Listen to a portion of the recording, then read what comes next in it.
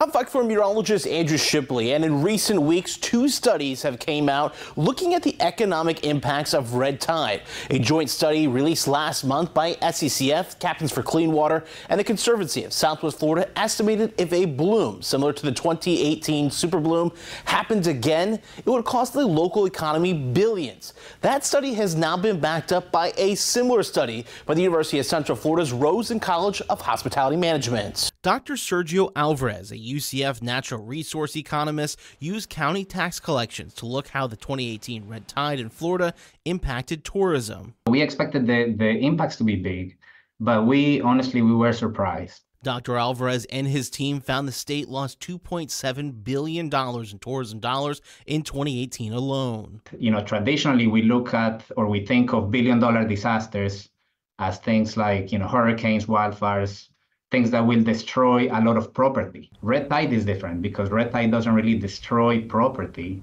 but it definitely destroys this business opportunity. While big losses in Southwest Florida were not at all surprising, the study found similar losses in Southeast Florida. They experienced the red tide in 2018, not for uh, as long of a period as in Southwest Florida, but because the tourism economy in Southeast Florida, you know, Miami, Broward, Palm Beach, they have big, big, big tourism economies.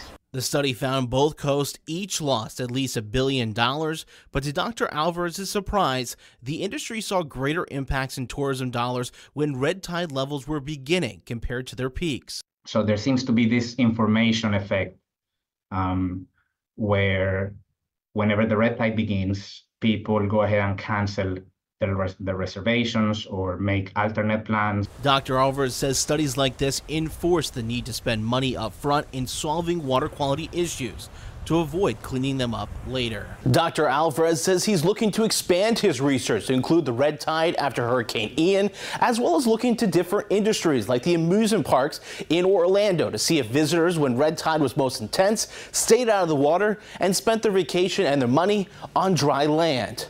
In studio, meteorologist Andrew Shipley, Fox 4.